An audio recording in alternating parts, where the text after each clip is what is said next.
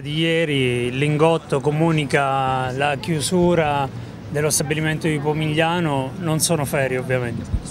No, è cassa integrazione. Credo che si confermi un dato, il piano Fabbrica Italia non esiste, è liquefatto e siamo di fronte a due aspetti, gli investimenti annunciati non vengono fatti, nuovi modelli non ce n'è, questo sta determinando il fatto che si perdono quote di mercato purtroppo e che sta aumentando la cassa integrazione.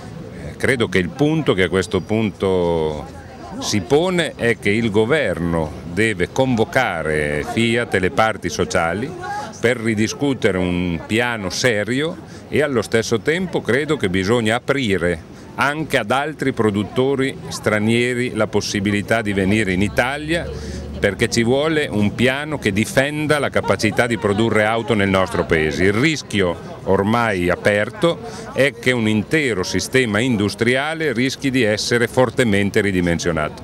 Fiat si giustifica dicendo che eh, il mercato dell'auto è fermo ai livelli del 1979, eh, ma quali sono le colpe secondo lei di Fiat?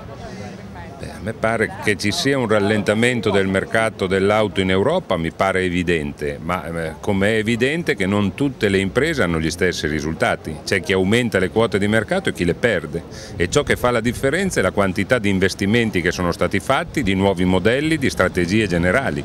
Quindi io credo che si possa dire che una serie di valutazioni che la Fiat faceva sono state sbagliate. Non l'ho presentato io un piano due anni fa che diceva che si andava nel 2014 a 1.400.000 auto e che c'erano 20 miliardi di investimento. La Fiat non sta facendo nessun investimento, sta chiudendo stabilimenti, sta dismettendo attività e sta spostando la sua attenzione verso altri paesi. Questo è il punto di fondo e questo non è una cosa che può essere lasciata fare semplicemente a un'azienda perché la capacità capacità produttiva in Italia, componentistica di auto, è un bene nazionale che deve essere salvaguardato, se non c'è una politica industriale in questo Paese.